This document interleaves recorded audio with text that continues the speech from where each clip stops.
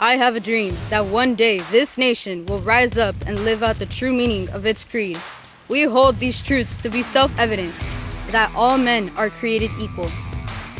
My dream is to be a naval flight officer. My dream is to major in international business. My dream is to be a nurse. My dream is to be in the Navy. My dream is to be the best cadet in the training.